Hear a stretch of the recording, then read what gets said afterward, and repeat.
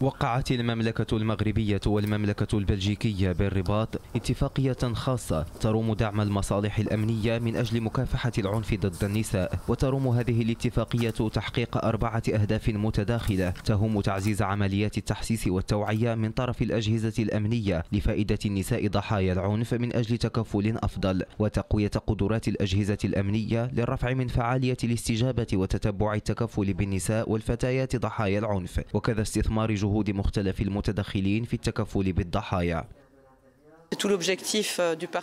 إن الهدف من الشراكة التي عقدناها اليوم يتمثل بفضل وكالتنا للتنمية إنابيل في دعم قدرات الأمن بما فيها المديرية العامة للأمن الوطني والدرك الملكي وذلك بشراكة مع الشرطة المندمجة في بلجيكا بهدف تجويد التكفل بالنساء ضحايا العنف وذلك باتباع مقاربة تشاركية وشمولية.